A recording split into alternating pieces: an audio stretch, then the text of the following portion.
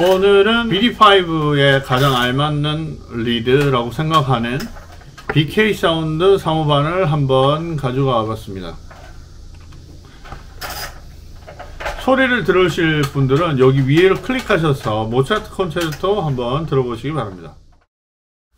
안녕하세요 아빠클라입니다 오늘은 리드를 한번 소개하려고 합니다 지난번에 한번 얘기했었던 리드인데요 어, BK Sound 리드를 해외 직구를 통해서 한번 구입해 보았습니다 어, 지금 소포가 이렇게 아, 독일에서 이렇게 한국까지 배송되었습니다 배송료는 미국 달러로 16.8달러 그리고 여기 안에는 어, 리드 세 통이 들어가 있는데 90유로 어, 예, 구매를 했습니다. 그러면 어떻게 배송돼서 왔는지 한번 뜯어 볼게요.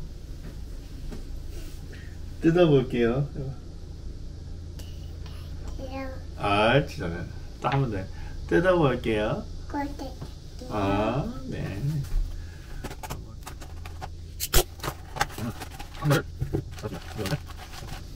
BK 사운드 3과 2분의 1을 세 통을 구매했습니다. 자, 아, 한 1년 전에 한번 소개했던 리드인데 다시 이렇게 리드를 아, 소개하게 된 이유는 아, 제가 사용하는 이 반도린의 빠바 빠바바 바바바 빠라바라바라바라바 바바 아치 잘하네 빠바바바바바바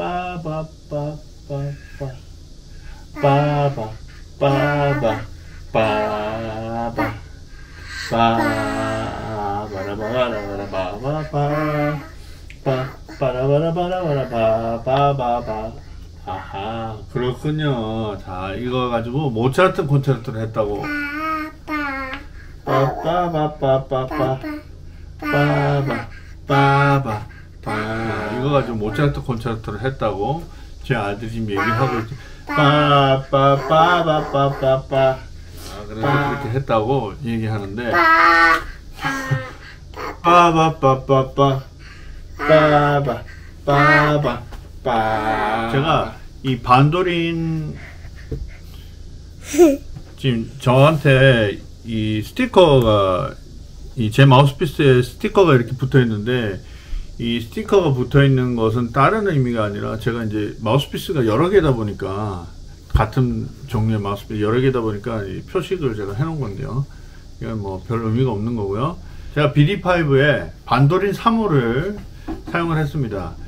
그 이후에 제가 아, 리드를 3호 반으로 반도린 3호 반 V12 3호 반으로 아, 바꾸고 싶다고 이게 여러 번 이제 시도를 했는데 결국에는 이제 뭐 성공을 했습니다.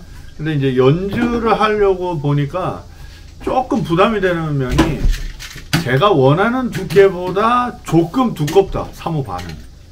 그래서 아, 여러 가지 그 비슷한 두께의 여러 가지 리드를 해본 결과 첫 번째 소리가 고급스러우면서 두 번째 두께가 맞고 잘 맞고 어 그리고 세 번째 수명이 오래가는 그런 리드를 발견했는데 그 리드가 이 BK Sound 어, 어, 리드가 아, 되겠습니다. 실물을 한번 보여드리면 좋겠는데요. 똑같은 리드입니다. 똑같은 리드입니다. 그냥 여기 BK Sound라고 이렇게 적혀 있고요. 제가 뭐 낙서해 놓은 이런.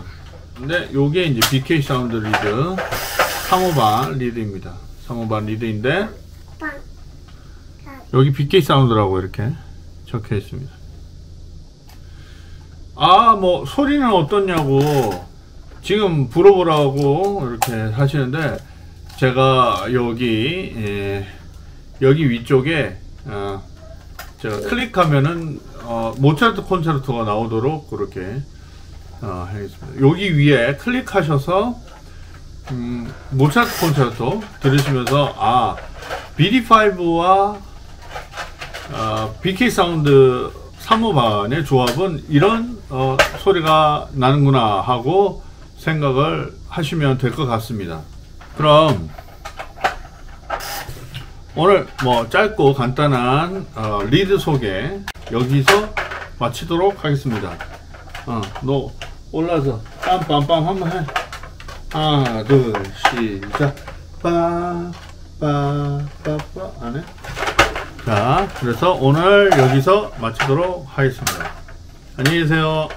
아니, 이거 자꾸 하면 안 되지. 안녕히 계세요.